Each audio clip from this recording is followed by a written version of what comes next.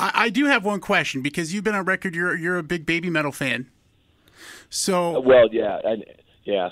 I I because I, want to I, I need to know what am I missing? Am I missing something here? Because it's hard for me. Okay, it, here's the thing. You kind of have to discover them through a fan who didn't grow up the way we did. Does that make sense? Yes. I I became a fan because of my son's love for this band, um, and I didn't get it at first either. And then watching him react to them, because I got to when we did Chicago Open Air with Slipknot, BABYMETAL was playing there.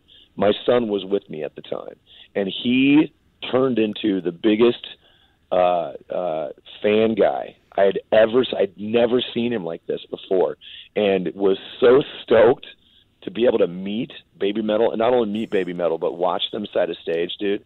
That it made me look at them a totally different way, and they're fun. They're just fun to watch. The riffs are cool.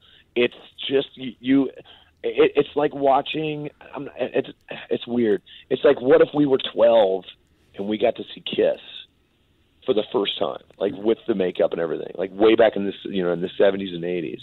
It's not it's not the same thing, but it's comparable in the way that it captures the imagination for the person who maybe doesn't maybe didn't grow up as spoiled as we did with a lot of the different genres and musics and whatnot.